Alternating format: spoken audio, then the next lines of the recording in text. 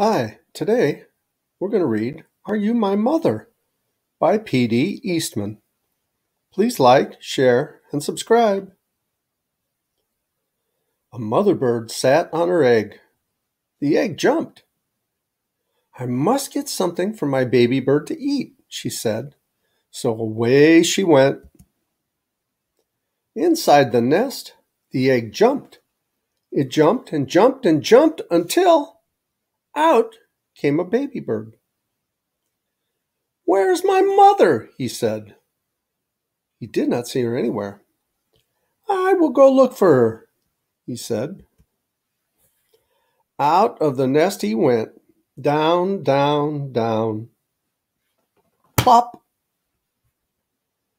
The baby bird could not fly, but he could walk.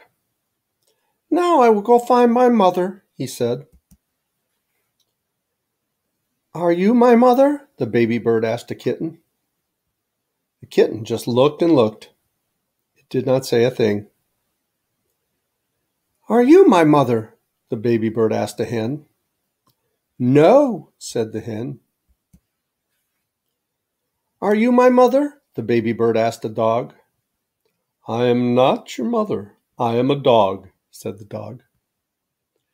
Are you my mother? the baby bird asked the cow. How could I be your mother? said the cow. I am a cow. The baby bird stopped to think. The kitten and the hen were not his mother. The dog and the cow were not his mother. I have a mother, said the baby bird. I know I do. I will find her. I will, I will. Just then, the baby bird saw a big thing. Are you my mother? he said. The big thing said, Snort! Oh no, said the baby bird. You are not my mother. You are a scary snort. The snort lifted the baby bird up, up, up. Then something happened. The snort put the baby bird right back in the tree. The baby bird was home.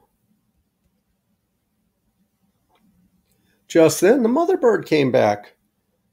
I know who you are, said the baby bird. You are not a kitten or a hen or a dog. You are not a cow or a snort. You are a bird, and you are my mother. oh, well, that's cute. I like that story. I hope you do too. Happy Mother's Day to all you mothers out there. And as Tigger says, ta ta for now. Love you guys. Bye bye.